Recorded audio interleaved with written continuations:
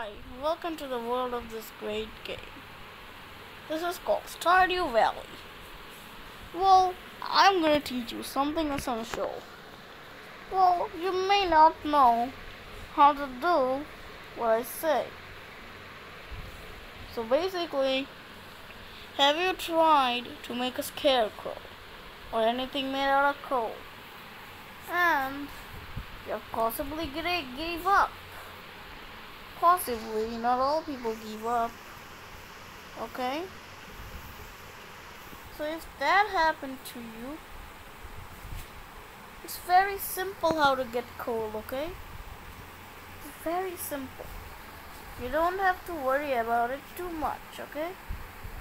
I'm just gonna show you how to get them by just breaking these rocks. In one of these rocks there is actually coal and if you don't believe me, see me in a while. Just see me. See? I, I found a coal. I found a coal. See? Yeah, you should always believe this. You shouldn't care about who are you talking to. This is actually real. Guys, I cannot believe this. Can you believe it? I'm pretty you can.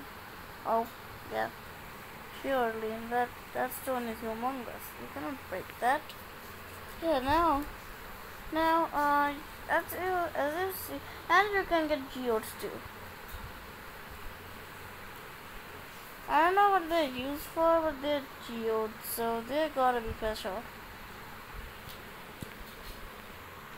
So, uh, we're gonna just go back. Now, as you guys saw, what I did, but one thing is in advance, you have to buy the workshop to actually craft up the scarecrow or any other item that you want to craft up.